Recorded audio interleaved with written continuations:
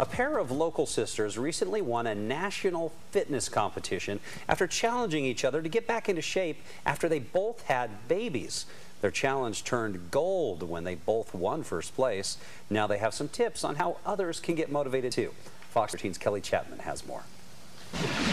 Being a mom fantastic, but I also think you need to take care of yourself and do things for yourself at the same time. It creates this balance in life. 29 year old Holly Semanoff and 34 year old Tiffany Heugly know what it's like to not feel like their best self. After the sisters went through pregnancy together in 2011, they decided to join forces to lose their baby weight together.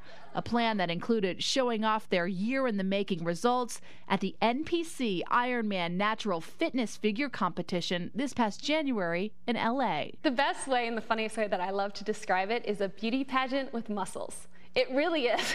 the sisters competed in different figure divisions based on height, judged on presentation, symmetry, leanness, balance, and muscle.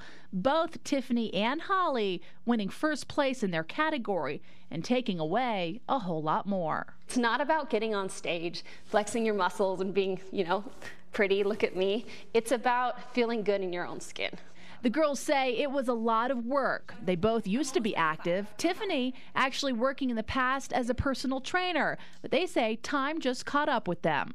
The demands of being a mother and wife pushed their health to the side. They say creating a goal and sticking to it is what got them back on track. Having a goal, you're always more motivated. It gives you something to strive for. The pair now works together as spokeswomen for Tahitian Noni International, a health and wellness supplement company, and they use their story to motivate others.